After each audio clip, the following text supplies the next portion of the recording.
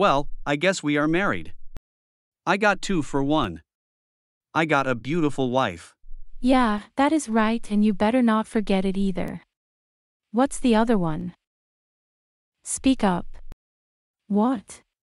Does a spotted leopard got your tongue or something? Well, I'm waiting.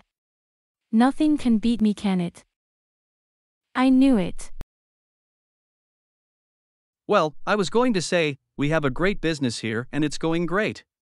I only wish I were here earlier because it would have saved me a lot of money and headaches. You are the best, honey. I'm glad I met you. My wife. Why you getting angry for? I love you. You know that, right? It's not you. Do you remember when you had that sale last week? Rent one day, get one day free.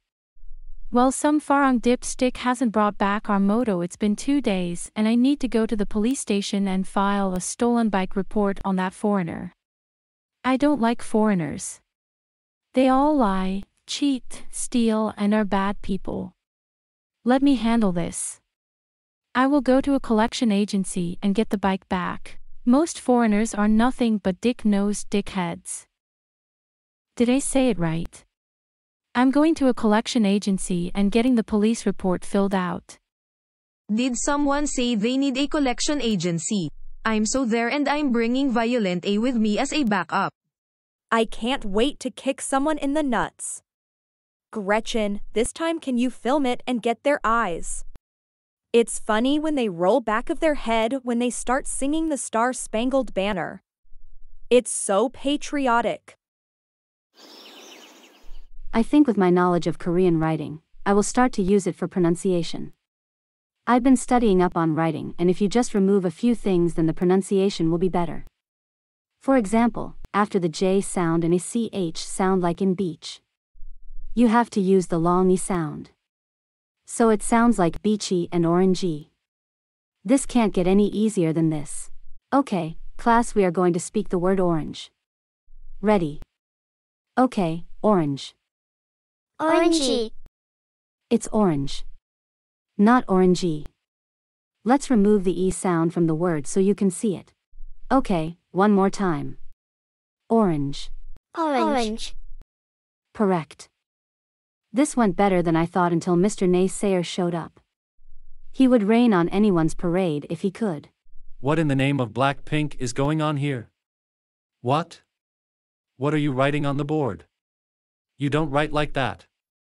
It's wrong. I tried to explain that I was teaching pronunciation and the E sound needed to be removed. He would have none of that. He would insist I write in proper Korean or not at all. What a jerk.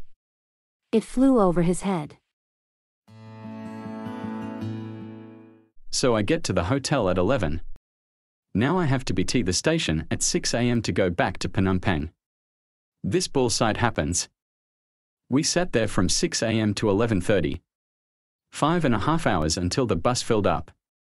Wouldn't you know it, the bus broke down twice on the way to Phnom Penh. I finally arrived at 9 pm. Word of advice don't take that bus company Soria Transportation. It is a red bus and the red is a warning not to take it. Worst weekend ever. We finally arrived on Andaman Island. We plan to spend three days here and then off to Nicobar Island. There are roughly 300 islands in this archipelago. These are undoubtedly the most beautiful islands in India. I can't believe the palm-lined, white sand beaches, mangroves and tropical rainforests. It is beautiful. The coral reefs support marine life such as sharks and rays. Maya and Caroline want to snorkel with the sharks. I will bring a knife. One island we won't visit is North Sentinel Island. No one is allowed to go there. It is too dangerous. This is a beautiful island. I wish we could stay here. The three of us together. You mean the five of us, right? Thank you for joining this week. Please come back next week for more exciting episodes. As always, please like and subscribe. See you next week.